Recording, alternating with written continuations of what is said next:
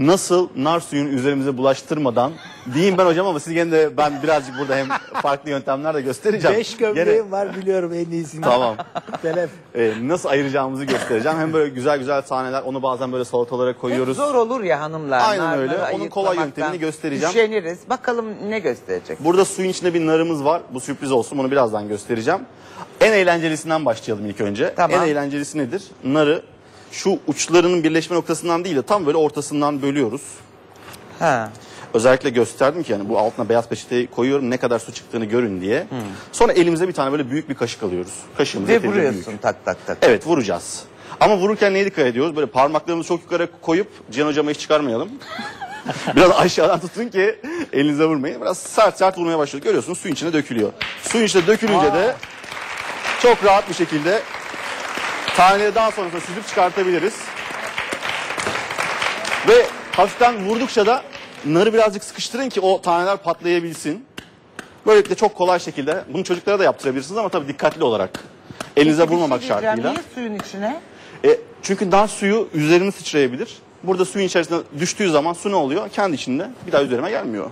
Ha. Gördüğünüz gibi şu an tertemiz çalışıyorum. Ha. Su zaten süzülecek birazdan. Sonra da o suyu için işte nar, nar Aynen öyle. Ki Evet. bu biraz zor bir yöntem. Kabul ediyorum. Birazdan göstereceğim yöntem o kadar pratik ki inanamayacaksınız bu kadar mı kolaydı diye. Çünkü direkt elimizi suyun içine sokacağız ve pıtır pıtır ayıklayacağız. Ay ben bu birinci yöntem. uğraşana kadar Evet. aman ayıklayıveririm elimde. Eğer uğraşmak istiyorsanız bu şekilde yapabilirsiniz. Şimdi ikinci yönteme gelelim. Narımızı ne yapıyoruz? Buradan bir tane nar daha alıyorum. Birazcık daha ufak bir bıçak alın. Narınızın ucunu kesin. Daha sonrasında arka tarafını da kesin.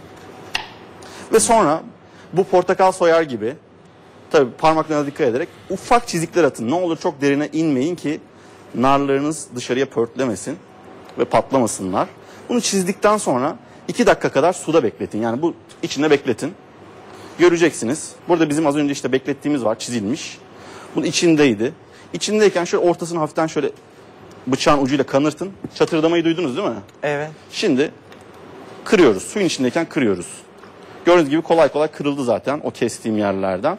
Ve baş parmağınızda elime dikkat ederseniz şimdi buradan ittirdiğim gibi dökülüyor. Bakın ne kadar kolay. Ha, bu daha kolay. Bu çok basit, çok güzel bir yöntem. Ve kırdığınız zaman çok kolay bir şekilde narlar çıkacak. Daha sonrasında göreceksiniz ki nar taneleri dibe gidecek. Bu aradaki beyaz oyuntular da yukarı çıkacaklar. Ve bunları kolaylıkla temizleyeceğiz, süzeceğiz ve nar suyunu kolaylıkla içebileceğiz ya da tanelerini kullanabileceğiz. nar Ellerine bu kadar kolay bir şey aslında. Bunu ne yapabilirsiniz? Narlarınızı ayıklayın. Bunları güzel buzdolabı poşetlerine koyun. Buzlukta istediğiniz zaman kullanmak için ayırabilirsiniz. Daha sonrasında salatalarınıza koyun. Nar mevsimi olmadığı zamanlarda kullanın. Evet. Çok Gördüğünüz gibi. teşekkür ediyoruz. Rica Serhat'a. ederim.